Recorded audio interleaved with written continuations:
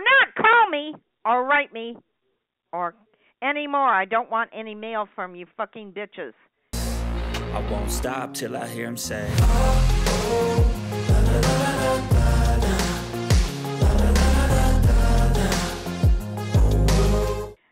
You keep writing me. I'm not going to sell my house, you fucking bitch. You take me off your list. I don't want to hear from you again, and I will go further if I have to. Do not me or write me or anymore. I don't want any mail from you fucking bitches. You hear? Bitch. Thanks for watching. Subscribe to Holton Wise TV for more financial information, education, and entertainment.